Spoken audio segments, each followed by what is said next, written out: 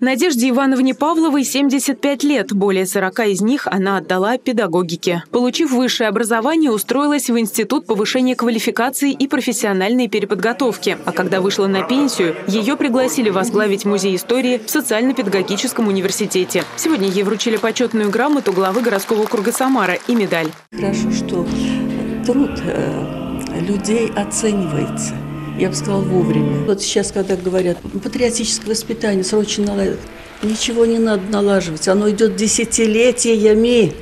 Если люди честно работали, то мы все это помним, мы передаем новым поколениям. Помимо Надежды Павловой, почетную грамоту главы городского округа Самара вручили Олегу Летинскому, председателю Совета ветеранов Управления вневедомственной охраны войск Национальной гвардии России по Самарской области. Благодарственными письмами главы города отметили Елену Долгополову, Наталью Агейченкову и Лилию Конькову, руководителей творческих студий Дворца ветеранов. Торжественное мероприятие, которое сегодня прошло в окружном доме офицеров, приурочили сразу к двум праздникам – Дню защитника Отечества и Международному Всемирному женскому дню. Мы с вами в этом году особо ощущаем праздник защитника нашего Отечества.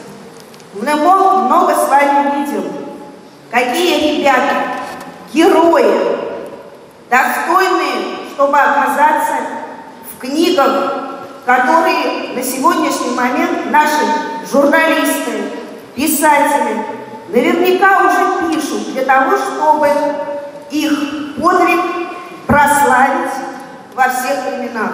Наша задача с вами – это сейчас и здесь поддержать их всеми своими силами. Все собравшиеся в зале – надежный тыл для выполняющих спецоперацию. И хотя здоровье порой подводит, дух не сломлен. Руководители творческих объединений Дворца ветеранов вяжут носки для участников СВО, участвуют в сборе гуманитарной помощи. Виктория Шарая, Константин Головин. События.